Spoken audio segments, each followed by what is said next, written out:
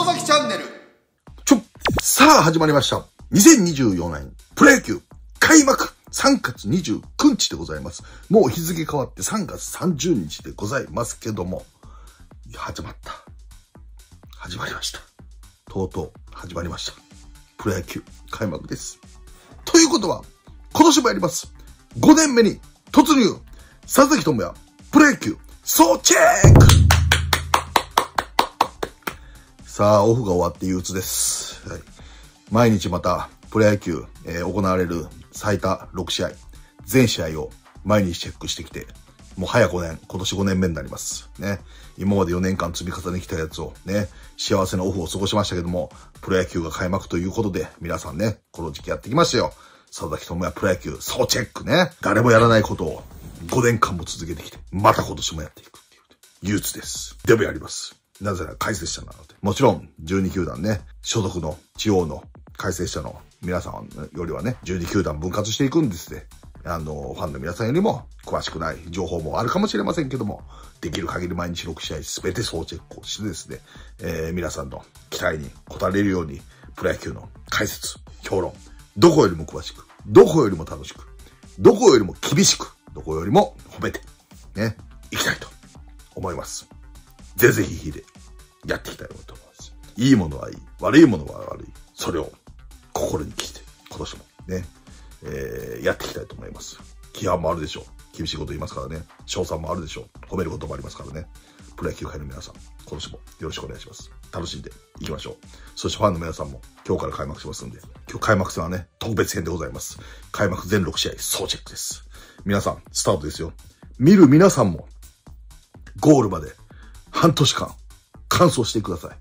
月曜日には週刊ベストナイン佐々木がね、出していきます。ね。基本的には月曜、金曜の週2回。そして都合によったら木曜日ね、えー、火水木の3連戦をね、えー、2戦1戦に振り分けれるかもわかんないね。そこら辺はね、佐々木の仕事の都合もありますから、臨機応変にやっていきたいと思いますけども、皆さん、ついてきてくださいね。皆さんの視聴回数とコメント、賞賛とね、熱意が佐々木のモチベーションです。頑張っていきましょう。さあ、ということで、2024年開幕戦。特別戦の総チェックスタートです。さあ、ということで、総チェック開幕戦ということで、佐々木はね、えー、ゾゾマリンスタジアムに6時半プレイボール開始で、えー、ロッテ対、ね、日本ハム、ね、久しぶりにロッテホーム解説、ね、えー開幕戦、ね、本拠地からスタートっていうところで解説、千葉テレビで行ってまいりましたけども、まずね、そちから、そちらからね、やっていきましょう。まあね、えー日本はね、伊藤博美、えー開幕投手、ね、えー北海道出身の選手が開幕投手になるのは初めてということでね、えー早々にね、えー来季の、えー開幕投手は伊藤博美というね、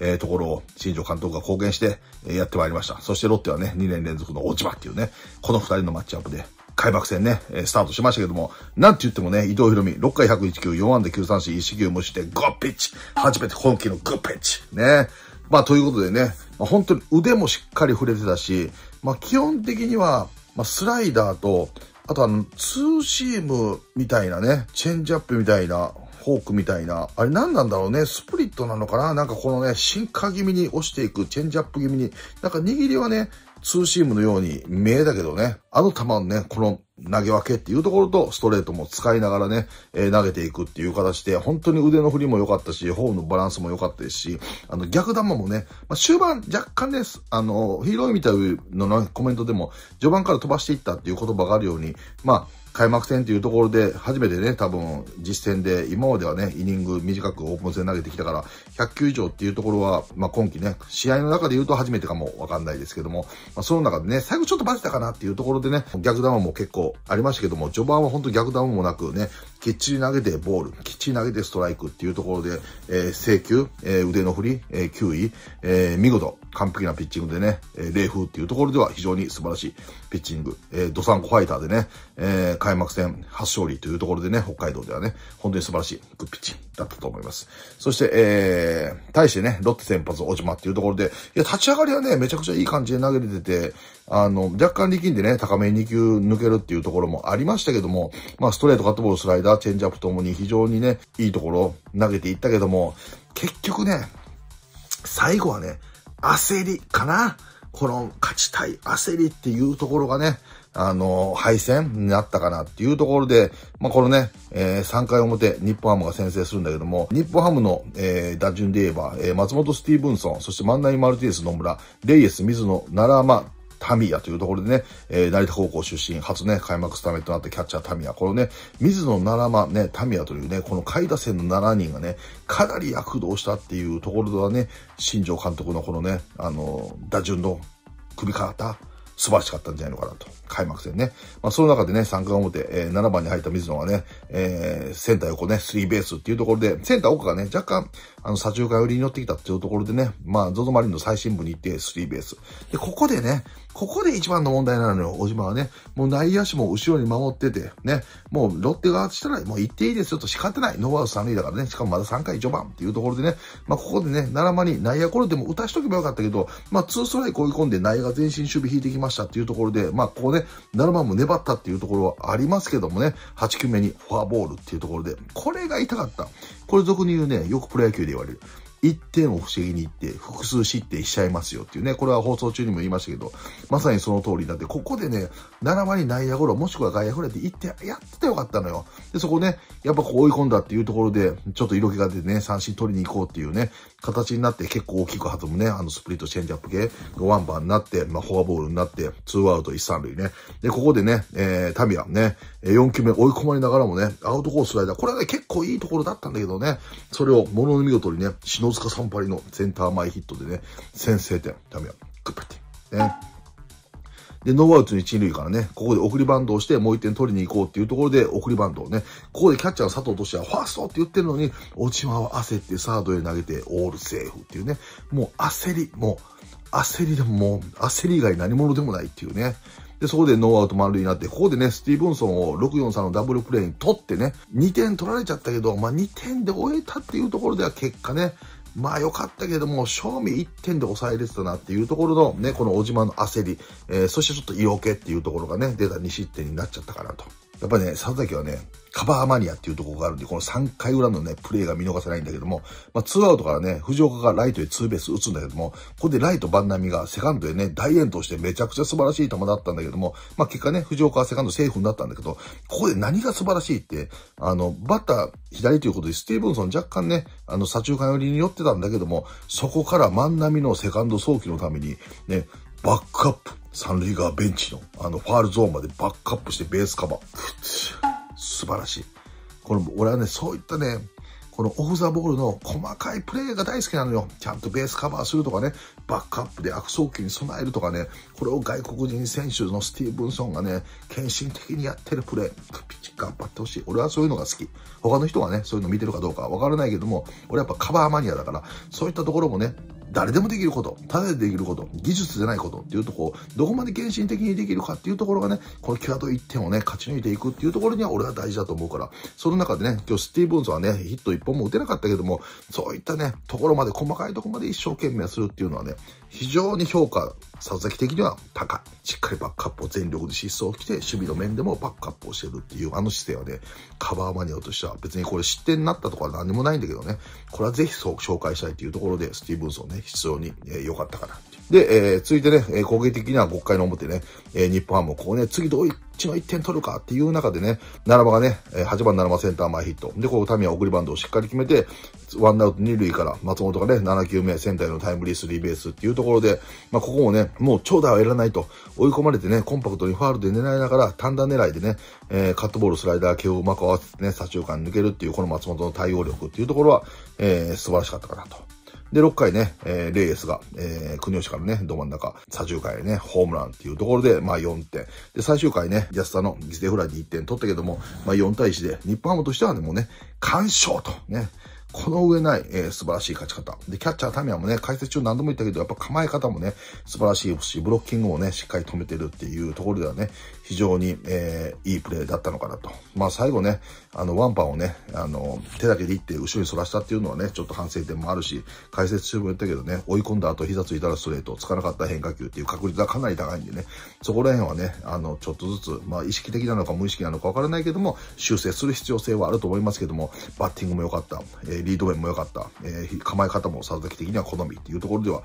非常にね、素晴らしい活躍、成田高校出身というところでね、千葉テレビだったんで、多めに情報をね、言いましたけども、放送中もね、水野七間民也、この789っていうのは素晴らしかったし、6番で入るレース、新外国人選手がホームランを打つっていうところでも、新庄監督のね、今季初勝利、えー、素晴らしい、えー、勝ちになったんじゃないのかなっていうね。しかもリリーフのマーフィーもね、良かったね、まっすぐとあの、パワーカーブみたいな、ナックルカーブね。まあ、逆にマリーンズはね、まあ、なすすべなくっていうところだけど、まあ、唯一はね、この5回の裏、ね、ツーアウトから、えー、佐藤都志也がね、あのスプリット系の、シンカー系のチェンジアップ、えー、ツーシームかな、えー、っていうところをね、ねえー、バットを折りながらライト前。で、トムスイもね、それ合わせてね、えレフト線ツーベースっていうところで、ツーアウト2、3塁。で、ここでね、ここまで2安打の藤岡をフォアボール合わせてツーアウト満塁、外がね、セカンドゴロ。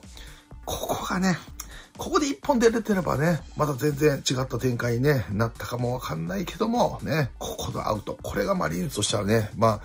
一番勝てるかどうかのチャンスっていうところだったかなっていうね、ところだったかな。もう、あとはちょっとなすべなくっていうところでね、まあ、乾杯といったところじゃないでしょうか。まあ、初戦はね、日本ハムが勝って、明日以降3連戦どうなるのか、ね、えー、素晴らしい開幕戦の日本ハムとしては勝ち方。ロッテとしては、まあ、乾杯って言ったところでね、明日切り替えて戦えるかっていうところでしょう。続いて、楽天対西武開幕戦。楽天は先発、ね、初先発の早川。そして、えー、西武は先発、今井とね、同級生対決になりましたけども、これはもう両投手の完璧なピッチングで、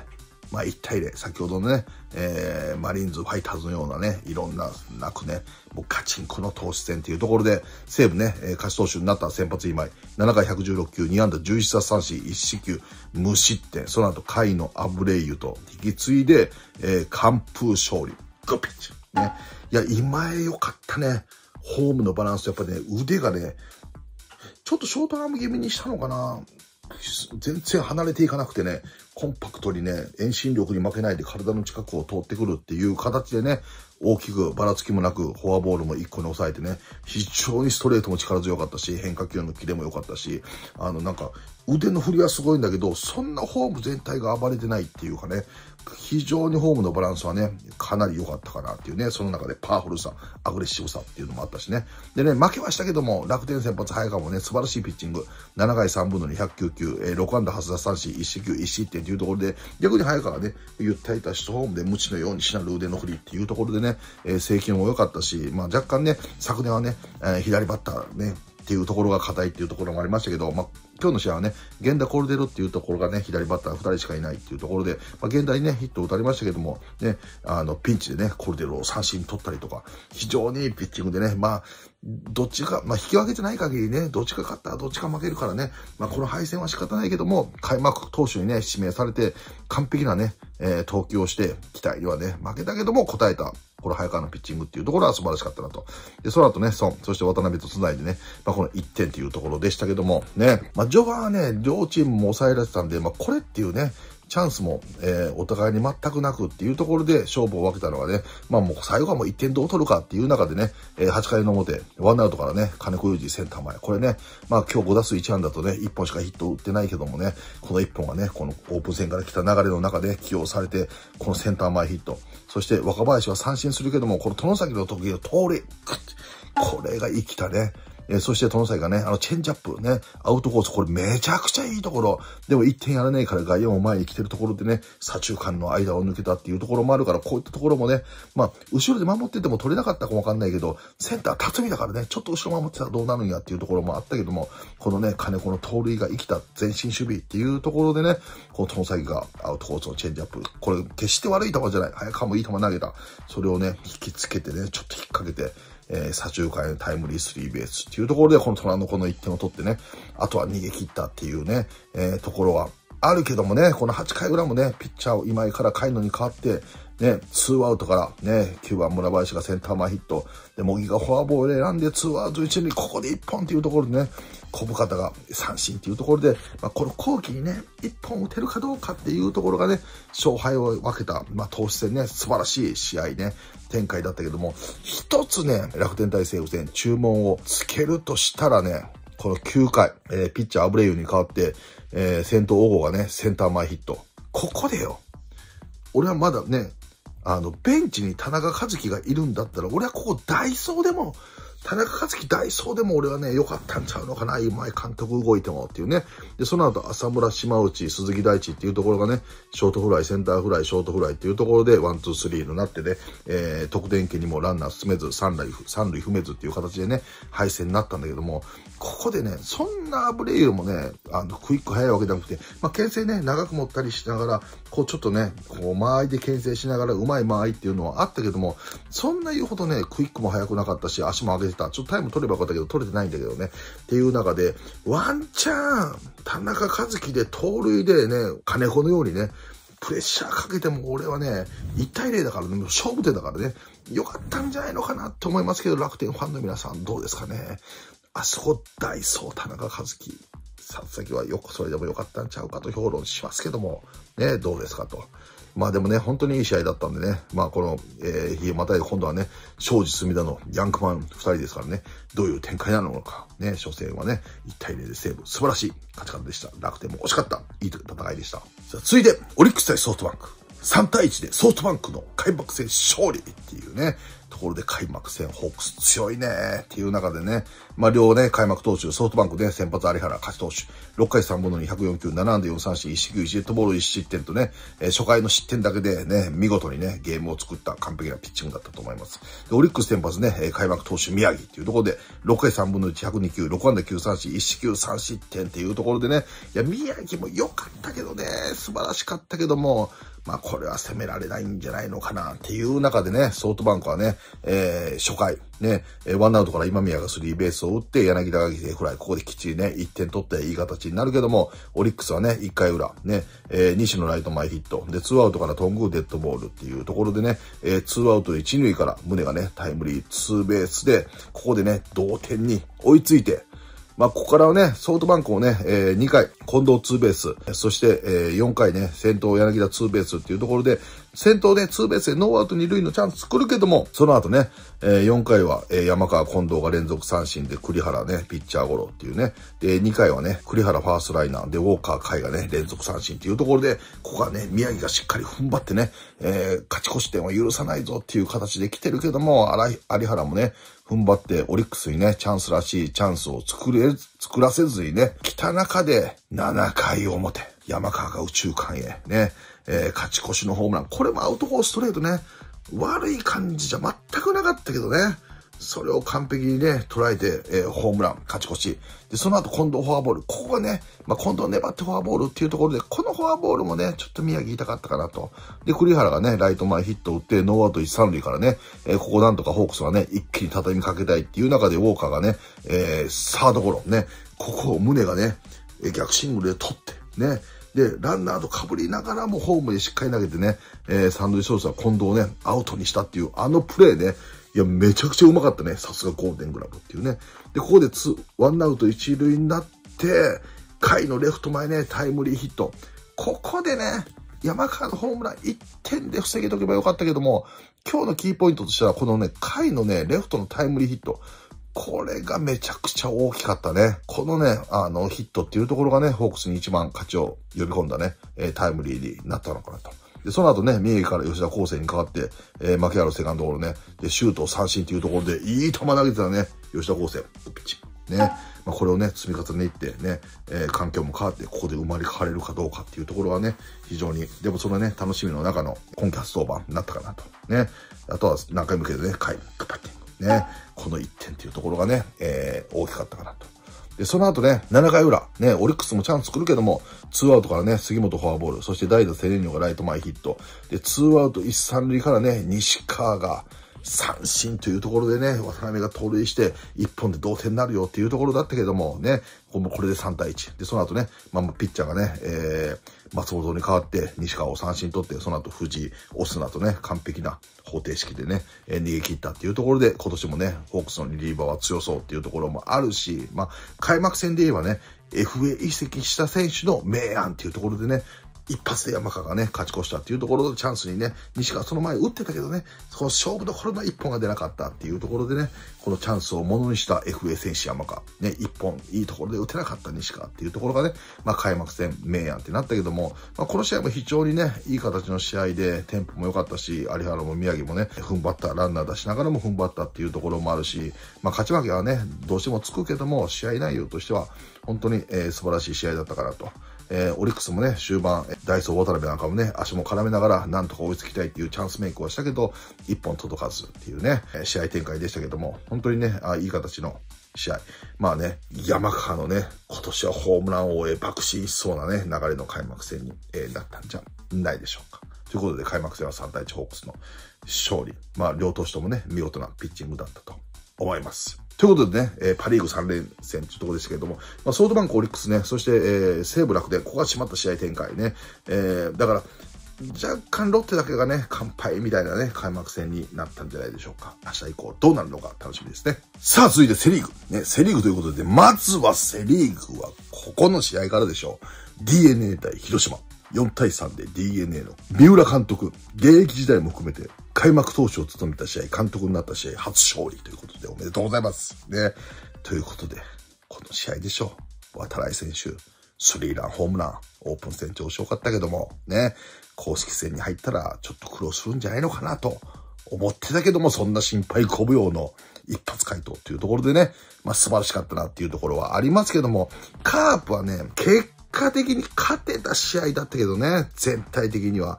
結果的に一番のキーポイントだったのは、やっぱ初回じゃないのかなというね、この攻防戦がどう生きるかによって、カープはね、圧倒的な試合展開で勝てたんじゃないのかなっていうところと、ちょっとミスで自滅があったんじゃないのかなっていうね、ところは感じましたけども、カープは初回ね、え、菊池ライト前ヒット、ここをね、ライト渡来、まあ、正面と、これ横浜スタジアム正面と被るからね、多分正面と被ったのかなっていうところでね、取れるボールをポロリと、エラーになってもね、おかしくないような感じでしたけども、ライト前ヒット。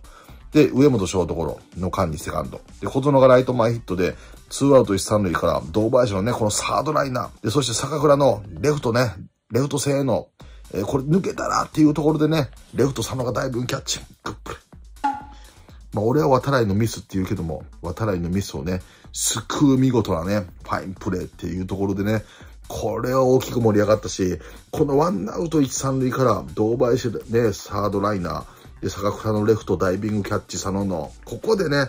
1点取れるか、2点取れるか、0点なのか、これが結果ね、終わってみたら、一番大きな分岐点だったんじゃないのかなっていうね、この試合を見た限りでは、えー、感じますけどね。まあ、その中ね、3回表ね、カープ、ワンアウトからね、えー、菊池上本、小園、堂林、そして坂倉と、5者連続の、ヒット、そしてレイノーズの犠牲フライっていうところで、一気に3点取ってね、めちゃくちゃいい形。だからこのね、あの、堂林のセンター前、坂倉のね、ライトタイムリー、このタイムリー2つね、若干東の変化球がね、高めに浮いたっていうところをね、ちょっとコースが甘くなったっていうところを見逃さずね、3点一気に取って、これも行くかなっていうところで、問題点はこの3回裏。7番先頭山本がね、センター前ヒット。で、ここでね、石上、えー、ルーキーね、渡来と一緒に、えー、初スタメンというところで、ファーストへの内野安打。だけども、これ、ファーストシャイナーね、若干セカンド投げようとして無理やっちってファースト投げたところでね、石上の足にね、えー、が勝ってセーフになったけども、ここのミス。これもそのままファースト踏んで、ワンアウトだったら、この3点はなかったのよ。この判断ミスとこのハンドリングミス、若干ジャックルしてたよね。これ痛かったね。で、その後ね、東がスリーバンド失敗するも、渡りのね、初球、栗の高めに浮いてきたスライダーをね、打った瞬間、スリーランもめっちゃガッツポーズしてたで、ホームラン、渡り君。2024年、なんと、シーズン、全球団、1号ホームランが、ルーキー、渡来、グッパッティング。ね。しかもこれもね、1打席目もね、初球のスライダーから満振りして、次もね、スライダー合わせてっていうところでね、1打席目からしっかり初球ね、強いスイングで触れに行ったことがね、この2打席目のホームランに生きたなっていうね、えー、ところと、広島バッテリーからするとね、石打席目もスライダーでね、空振りしてたからもうまっすぐ狙いやろうっていうところでね、スライダーっていう選択が高めに浮いちゃってね、あれ低めだったらまたわからんかったけどね、高めに浮いて曲がりも中途半端なところ、まあそれにしてもそれをね、ものの見事の一発でね、仕留めるっていうところ、これね、波のルーキーじゃないね、苦しむかなと思ったけど苦しまなかった。でもこれね、石上のファーストゴロシャイナーのこのね、ミス、これでね、同点になったっていうね。で、このカープはね、4回の表、このね、シャイナーがレフトへツーベース打つけどもね、この栗が送りバントできずに、三塁に進めれずに結局最後ね、見逃し三振。で、菊池上本と続けず、ここで送ってればもう1点取れたかもわからないのに、このね、ミス。そして5回もね、えー、小園堂林と連続ヒットでね、ノーアウト一塁。ここでね、坂倉ダブルプレー。こっから坂倉ね。で、まあ、レインズフォアボールになって田村が三振っていう中でね、ここで、このね、4、まあ、1回、4回、5回、このね、攻防の中で超好機を作りながら、ね、相手のファインプレーに阻まれて、バントで遅れず、連打が続かず、ダブルプレー。これ0点、こう大きかったね。正直ね。で、その間に守備のミスで3失点っていうね。ちょっと地別感あるよね。でもカープはね、その後は6、7、8、9とチャンスらしいチャンスもなく、アウザ、アズバも立ち直ってね。で、その後ウェンテルケン、森原と完璧にね、抑えられて、8回なんてウェンデルケンに3者連続三振だからね。で、その3者連続三振のリズムに乗って、8回裏ね、3対3の同点迎えた DNA ね、先頭オースティンがライト前ヒット。ね。ここで島内のワイルドペッチ。ね。でもこの佐野がね、センターフライで三塁横れず、ね、これどうなんやっていうところで、牧がね、えー、ライト前ヒット、ワンアウト、二三塁になってからのね、宮崎敬遠でワンアウト満塁ね。ここで山とかね、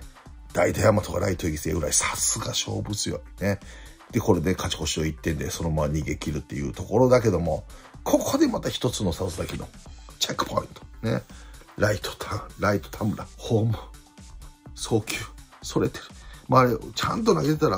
まあ、絶対アウトだったかはわかんないけども、サードランナーオースティンって考えたら、アウトかセーフか瀬戸際のとこになったと思うよ。それを大きくそれてね、セーフにしちゃったっていう、あの返球ね。まあこういったところももったいないよね。それてるしね。で、しかも、あの、高騰したことによって、一塁ランナー、セカンドランナーも一緒になってタッチアップするっていうね、えー、ところにもなっちゃってね。これはちょっとね、もったいない。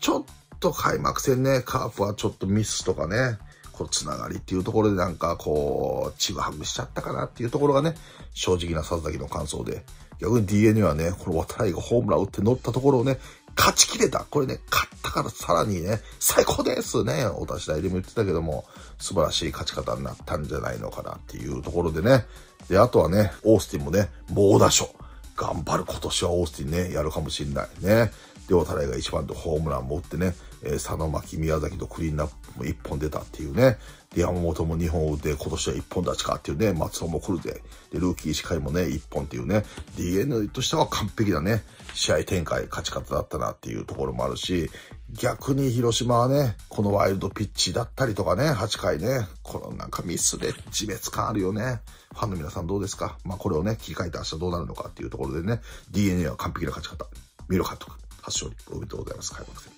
続いて、巨人対阪神。4対0で巨人の開幕戦勝利。タイガース開幕戦完封負け。なんか嫌なジンクスが載ってましたよ、ネットで。っていうね。えー、ところで、ね、ジャイアンツ先発ね、初の開幕投手と6回100球、4安打5三振、2四球無失点というところで、球数も非常に少ないしね、えー、素晴らしいピッチングだったかなと。で、その後西田で中川大勢。これがね、この西田で中川大勢が今年のジャイアンツの勝利の方程式みたいでね、えー、ノーヒットで完璧に抑えて、大勢はね、最後3三振、大スローパスボールバーッと、あれきっちりととこ、振ったんだから。まあそういったなんかね、とこミスもあったけどもね、まあ4対0と干渉だったんじゃないのかなと。で、阪神先発青柳ね、5回91球、5安打5三振、1四球3失点、悪くなかったけどね、勝ち谷にやられちゃったね。そういったところではね、まあ全然悪くなかったっていうところはあるけどもね。で、その後島本、えー、漆原、梶谷っていうところでね、まあカジアも最後ね、一失点したけども、ちょっとね、阪神としてはまあ完敗だったかなっていうね、形で、まあ巨人としたらね、序盤はね、もう本当にあの、青柳とね、東郷の投げ合いっていうところで、ジャイアンツもね、3回裏、えー、丸、そして2アウトから佐々木のね、内野安打っていうところで、2アウト1、3塁から門脇フォアボールでチャンスを作ってね、2アウト満塁から梶谷がね、えー、空振り三振っていうところでね、梶谷1本っていうね、ところだったけども、そのね、悔しさを生かして5回ね、えー、吉川がツーベース。で、ここで戸郷のね、打席で、青柳僕こうやって入ろうとした時に、こう、ちょっと、みたいなね、一瞬審判見逃さずね、で、これがね、ボクっていうね、形で、で、まあ、とこはね、えー、ピッチャーゴールになって、ワンアウト三塁から佐々木のね、えー、内野ゴロ、木並のフィルダーショイスだけども、これはね、三塁ランナー吉川、それ、スタート素晴らしかったね。まあ、佐々木がね、なんとか厳しいところを当ててね、転がして、まあね、木浪もね、若干二遊間寄りだったからね、体勢が逆方向になってホームね、投げたけども、この三塁ランナーね、吉川の素晴らしいスタートでね、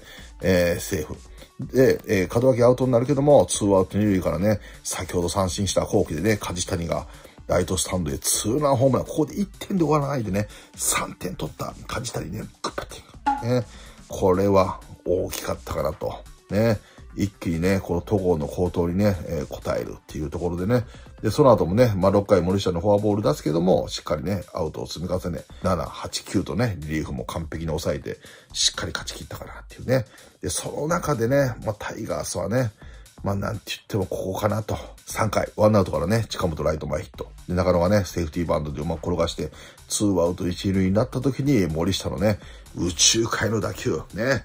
勝ち谷素晴らしいダイビングカッチ。いや、今日の開幕戦ね、外野手の守備素晴らしかったね。えー、ゾゾマリンでもね、えー、松本がダイビングキャッチ、ね、横浜スタジアムでもね、あの、佐野がダイビングキャッチ、ここは梶谷が、でね、次のヤクルト中日戦の時にも言うけど、西川が、っていうね、外野の守備ね、素晴らしいところが満載だったね。で、これをね、梶谷素晴らしいプレーで取ったけども、ここでね、ファーストランナーの中野バッと。ワンアウト1、2塁じゃん。ってなった時に、セカンドランナーはタッチアップっていうよりハーフウェイになるよね。で、だから、ファーストランナーもハーフウェイだよね。ってなった時に、取ったから戻ってくるけども、あんなに行っちゃダメよ。ね、まあ、これはね、梶谷のスーパープレイだから抜けたなっていうのはあるかもしれないけど、まあ、そっからね、梶谷もすぐ取ってね、吉川さんで吉川もしっかりね、ファーストに投げるっていうこのダブルプレイね、素晴らしい中継だったけど、中野バッと。あれはダブルプレイになったらダメです。まあ、しかもね、あの、ま、先制点があるっていうところでね、ちょっと焦ったかな。でもあれは飛び出しちゃね、ダメです。で、ジャイアンツはね、その後8回にダメ押しっていう形でね、4点を取って、リリーフがしっかり抑えて、完璧な勝利っていうところではもう梶谷デーにね、なったんじゃないのかなっていうね、ところで素晴らしい試合展開。まあ、開幕戦制してね、明日どうなるのか、明日の試合ね、明日とかも今日だけどね、土曜日、佐々木は日本放送で、えー、実況松本さんです。解説佐々木で日本放送で巨人阪神戦第2戦お送りしますので、ぜひ聞いてください。続いて、ヤクルトだ中日。7対4でヤクルトの開幕戦勝利っていうところだけども、中日、もう自滅です。